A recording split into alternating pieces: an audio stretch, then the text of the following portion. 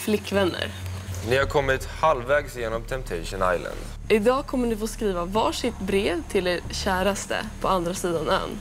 Berätta om vad du föll för hos din partner, Sofia.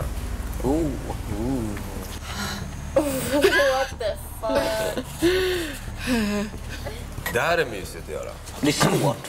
Nej? Jag tycker det är kul. Jag, jag brukar göra såna grejer ibland. Kan skriva en liten lapp på morgonen. Jag kan... Nej, men jag tycker det är kul att skriva faktiskt. Just såna här grejer. Jag tror hon kommer bli glad. Alltså jag känner mig inte alls eh, peppad för att skriva någonting till honom ens. Just nu. Då gör du inte det. Nej. Alltså nej. Han förtjänar inget brev. Varför ska jag sitta och skriva brev till honom tänkte jag. Gud vad kul om man får ett blankt brev. Nej, jag ska inte, jag ska inte plantera några... Ska jag göra det? Shit vad kul. Okej, vänta. Vi ska plantera in några... Hej då Oliver, ha ett bra liv. Kul att lära känna dig.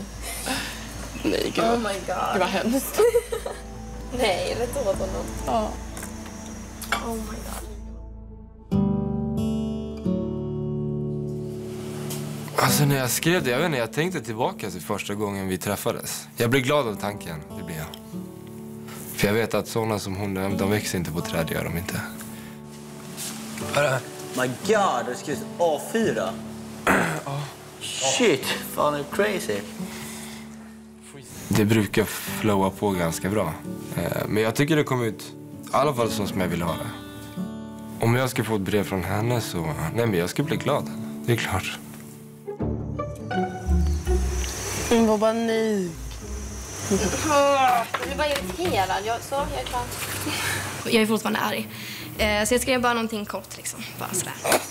Alltså min handstil kommer förstöra det här brevet. Hur börjar man liksom? Jennifer är katastrof på att skriva sånt. Ja. Ja.